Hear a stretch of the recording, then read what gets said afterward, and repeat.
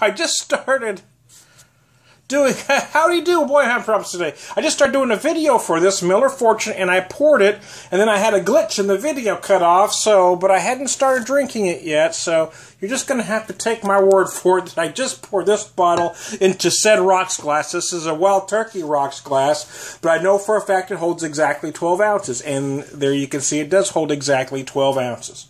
So there you go. That irritated me a little bit, but anyway, what are you going to do, right? There, here is the six pack container. It says Spirited Golden Lager. 6.9% it says on the bottle. That's pretty big. That's pretty big. Um, early press on this had mentioned that it was supposed to have a bourbon like quality or bourbon like flavors, but nothing on their own press really says that.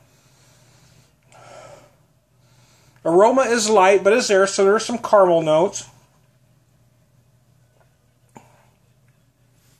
Hmm, okay, well, all right, before I go too much into that right there, I'm going to read this little paragraph here. Fortune is a golden lager brewed in part with Cascade hops to give it a citrusy bite and caramel malt to impart an amber hue. Yeah, well, they call it spirited golden lager. There they say amber hue. You call it whatever color you want. I'm colorblind. What the hell do I know?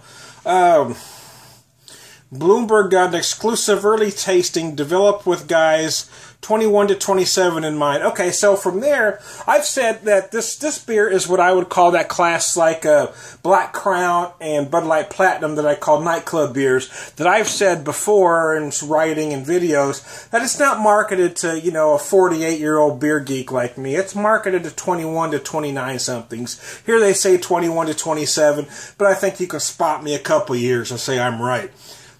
The flavor is moderately bitter with hints of sweetness resting somewhere between a craft beer and a light lager. Uh, yeah, I haven't got, I've only had one sip, but they're probably correct there.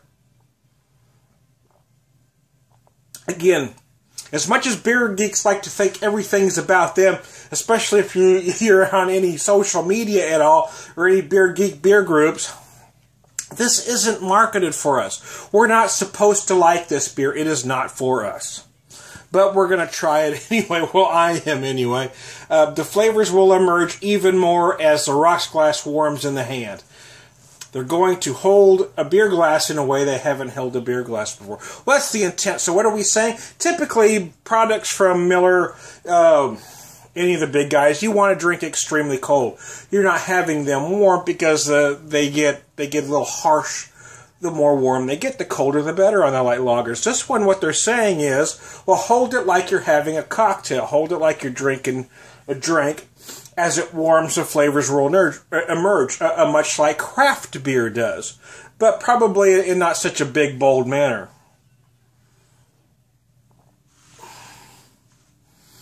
They said, we asked, how would Jack Daniels or Maker Marks do a beer? Well, so there you go. They're, they're trying. I don't know. Um, you know, I wish this. You know, again, they're not trying to do a craft beer. So my instinct is, why don't you age it in a bourbon barrel? But they're not trying to do that. That's that's my beer geek mentality. They're not trying to market this to me.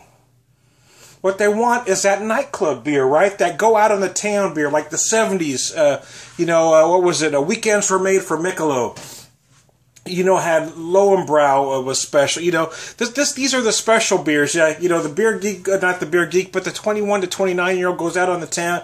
Well, they, they usually drink blood, Bud, but they're going to drink a Black Crown. They usually drink Bud Light, but now they're going to have a Platinum. They usually drink, you know, MGD or Miller Lite, but now they're going to splurge and, and have a fortune because it sounds important, right? you know, what the hell, right?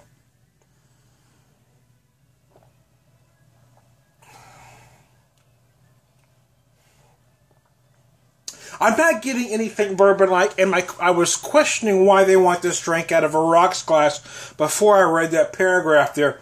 Because I'm wondering how a beer would benefit it. Am I gonna? Uh, is the nose? Is anything gonna benefit from this? And what they're aiming for is for you to hold it like you're drinking and drink and as it warms, it should become, you know, more, just more than what it is. Um, and, and, it may. I'm gonna have to. I'm gonna stop this and do a second video and let it warm to see if it does do what they say. My initial assessment, though, is it's not bad. It's certainly not terrible. Um, if it runs about seven, eight bucks a six pack, it's probably worth it. But again, it's not marketed to guys.